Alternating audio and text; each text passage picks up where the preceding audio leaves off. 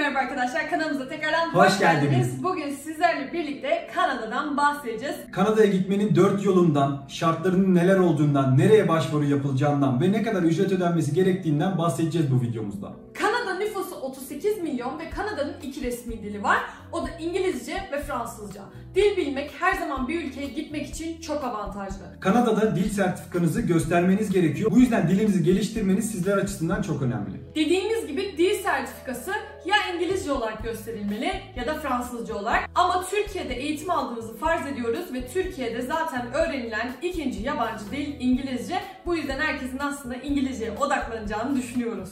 Gelelim Kanada'ya gitme yollarından. Birincisi ziyaretçi olarak gitmek, ikincisi öğrenci olarak gitmek, üçüncü çalışma vizesiyle gitmek, dördüncüsü ise aile akraba yoluyla gitmek. Kanada çok fazla vize opsiyonu bulunan ülkelerden bir tanesi ve aktif olarak da çalışan arayan bir ülke. Bu yüzden oldukça çekici bir ülke. Ayrıca her sene 400 binden fazla kalifiyeli eleman alacağını söyledi Kanada arkadaşlar. Bunu da belirtmekte fayda var. Kanada'ya gitmek için İngilizce ana şartlardan bir tanesi arkadaşlar. Biliyorsunuz ki sizlere içerik üretmek için güvenilir kaynaklardan İngilizce olarak araştırmalar yapıyoruz. Ayrıca seyahat ettiğimiz ülkelerde de İngilizce konuşuyoruz. İngilizce biliyorsunuz ki dünya genelinde konuşulan ortak dil. Bu yüzden her videomuzda da söylüyoruz. Eğer yurt dışına çıkmak istiyorsanız İngilizcenin önemi çok büyük. Bu yüzden sizler de bizim gibi ülkeleri gezmek ya da bir ülkeye taşımak ve orada yaşamak istiyorsanız İngilizce en önemli nokta. Bizim de güvendiğimiz ve kullandığımız Open English'ten sizlere bahsetmek istiyoruz. Open English ana dili İngilizce olan ve sertifikaları olan eğitmenlerle birlikte İngilizce öğrenebileceğiniz bir platform.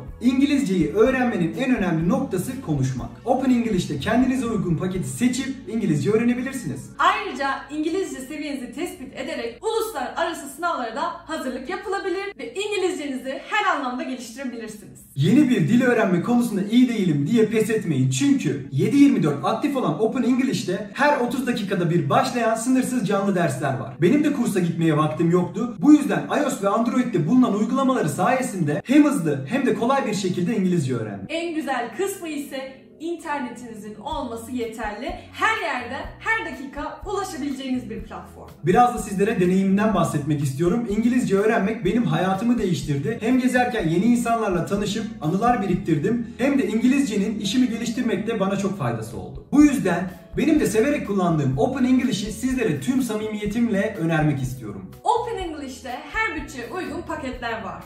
Sınırlı sayıda olan büyük indirim kampanyasından yararlanabilirsiniz. İngilizce öğrenme hedefi koyup yurt dışına çıkmak istiyorsanız eğer aşağıya bıraktığım linkten indirim fırsatlarına göz atabilirsiniz. Böylelikle Open English ile İngilizce öğrenmeye başlayabilirsiniz. Genel bilgilere dönecek olursak Kanada'da vize alma şartları şu şekilde. Düzenli gelir sahibi olmak ve bunu belirleyebilmek. Seyahati karşılayabilecek para miktarının banka hesabınızda bulunması, herhangi bir suç ve mahkumiyetinizin bulunmaması, Ayrıca bir ülkedeyken vize ihlali yapılmamış olması gerekiyor. Para konusuna da gelecek olursak kişi başına bankada olması gereken miktar 16.000 TL. vize merkezinin hizmet bedeli çalışma vizesi için 450 dolar. Bu arada biz çalışma vizesinden bahsediyoruz çoğunlukla çünkü kanalımızda çoğu zaman bize iş için yazanlar oluyor.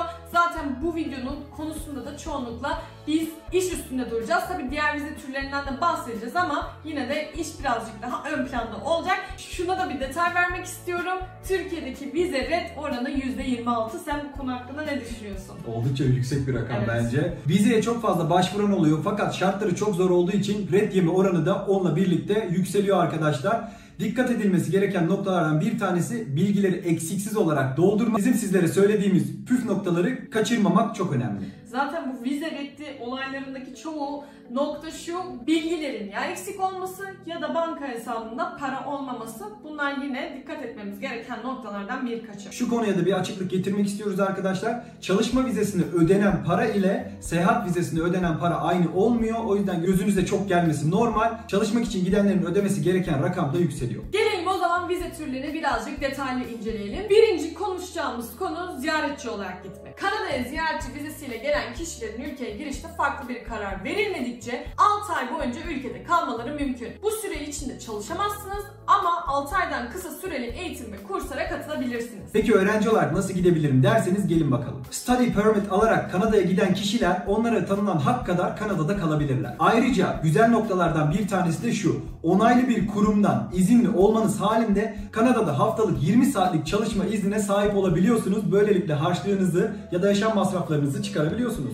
Bu konuda şunu not etmek istiyorum. Dil okulları hariç. Gelelim birazcık daha üstünde duracağımız vize türü çalışan olarak Kanada'ya gitmek. Kişilerin Kanada'ya geçici süreli yabancı çalışan olarak gelmeleri mümkün. Ancak çalışma izni almak sanıldığından daha karmaşık bir süreç. İşinde belli bir seviyeye gelmiş, Kanada ekonomisine katkı sağlayabilecek vasıflı işçiler Kanada için sürekli çalışma vizesine başvurabilir. Bu sayede Kanada'ya kalıcı olarak yerleşebilir. Express Entry vizesini kullanarak 3 ayrı program ile başvuruda bulunabilirsiniz. Bu programlar neler diye merak ediyorsanız Federal Yetenekli İşçi Programı, Federal Yetenekli Ticaret Programı ve Kanada Deneyimi Sınıflandırması. Federal Yetenekli İşçi Programına dönecek olursak daha önce de bahsettiğimiz Kanada'nın işçi alımındaki yaptığı 100 üzerinden puanlamalı sistem buna dayanıyor arkadaşlar. 100 üzerinden 67 puanını doldurmanız gerekiyor. Zaten önceki videomuzda da bahsetmiştik ama bu videoyu ilk defa izleyenler için söyleyeyim. Arkadaşlar deneyim önemli, yaş önemli, sizin eğitiminiz önemli, dil seviyeniz önemli. En önemlisi dil seviyesi diyebilir miyiz hayatım? Kesinlikle onu söyleyebilirim çünkü dil aslında en belirleyici noktalardan bir tanesi. O puanlama sisteminde yaş da çok önemli. Şimdi bazı ülkeler çalışan alırken hiç yaşa bakmıyor. 50 yaşında eğer müdürseniz alıyor ya da ne bileyim 60 yaşındaysanız ve iyiyseniz, deneyimliyseniz iş başvurusu yaptığınızda büyük ihtimalle gidebiliyorsunuz. Ama Kanada'da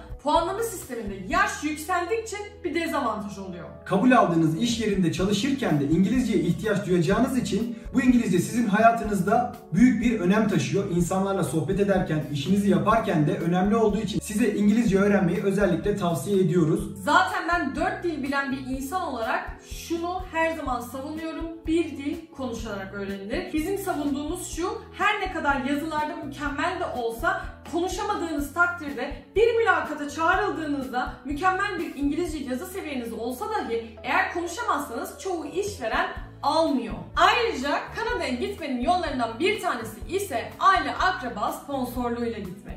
Kanada'da yaşayan yakın akrabanız var ise Kanada oturma iznine onlar aracılığıyla başvurabilirsiniz. Aile üyelerinin sponsorluğu ile Kanada'ya gitmek için size 3 ila 10 yıl boyunca sponsor ve yardımcı olmayı kabul etmeleri gerekir. Ayrıca Kanada'ya serbest meslek, yatırımcı yoluyla da gitmek isterseniz onun da kendine has şartları var. Kanada ekonomisine en az 400 bin Kanada doları değerinde yatırım yapmanız gerekiyor. Ayrıca yatırımcı iseniz en az 800 bin Kanada doları değerinde de varlığınızın olduğunu kanıtlamanız gerekiyor. Bundaki rakamlar biraz yüksek. Zaten bu yüzden sık sık videolarımızda yatırım yapmaktan bahsetmiyoruz. Çünkü rakamlar bayağı astronomik. Rakamlardan bahsediyoruz arkadaşlar. Sadece bilgilendiriyoruz ve hemen atlıyoruz çünkü fiyatlar çok yüksek gerçekten de. Daha çok çalışma vizesiyle gitmeye, yoğunlaşmaya çalışıyoruz. Peki bu çalışan olarak gitmekten bahsettiğiniz zaman aranan meslekler neler Enes ve Michel diyorsanız sizlere hemen sayalım. Hemşire senelik 74.997 Kanada doları kazanıyor. Temizlikçi de aranıyor ayrıca o da 34.664 Kanada doları kazanıyor. Tır şoförü de aranan meslekler arasında bunun da videosunu çekmiştik kanalımızda. Yıllık kazancı 50 bin Kanada doları gerçekten de yüksek çünkü tır şoförü bulamıyor Kanada arkadaşlar. Sık sık da söylüyorsunuz bizlere sadece vasıflı olanları lütfen saymayın diye tır şoförü, temizlikçi aranan meslekler arasında. Toplamda da şu anda Kanada'da açık tır şoförleri için 9000 pozisyon var. Ayrıca aranan meslekler arasında insan kaynakları da var. O da senelik 60 bin Kanada doları. Finans sektörü de arananlar arasında yıllık kazancı ise 57 bin Kanada doları. Eğer bu mesleğe sahipseniz Kanada'ya gitme şansınız bir adım önde. Özellikle de Toronto kısmında aranıyor. Toplamda da 7000 açık pozisyon var. Benim de okuduğum meslek olan proje yöneticisi senelik 83 bin Kanada doları. Yine yüksek ve güzel bir rakam. Bunda da 7000 tane açık pozisyon var. Seçim sizlerin arkadaşlar. Burada önemli olan nokta dil, aranan meslekler ve tabii ki de sizin motivasyonunuz ve gitme isteğiniz bu üçü bizce bir ülkeye gitmek için belirli noktalardan 3 tanesi. Eğitimde Kanada'ya gitme yollarında önemli bir rol oynuyor arkadaşlar. Özellikle Kanada'ya yüksek lisans ya da doktoraya gidenler kalıcı oturum ve çalışma iznine sahip olabiliyorlar. Zaten bir kez gitmiş olan çoğunlukla orada kalıyor. Öylesi gelmiyor. Aynen uzun, uzun sürede orada kaldıktan sonra da vatandaşlığa başvuruyor. Bizden arkadaşlar bu kadar Kanada'ya gitmenin yollarından kısa kısa sizlere bahsetmek istedik. Umarım videomuzu beğenmişsinizdir. Sıradaki hangisi olsun? Hangi ülkeden detaylıca bahsedelim? Yorumlarınızı bekliyoruz. Bizleri beğendiyseniz lütfen beğenmeyi, Kanada'ya gitmek isteyenler lütfen bir beğeni atsın arkadaşlar. kanalımızı takip etmeyi lütfen unutmayın. Destekleriniz bizim için önemli. Bütün kaynaklar ve Open English'in linkleri aşağıdadır. Hepsine bakabilirsiniz. Bir sonraki videoda görüşürüz arkadaşlar. Kendinize çok iyi bakın. Hoşçakalın.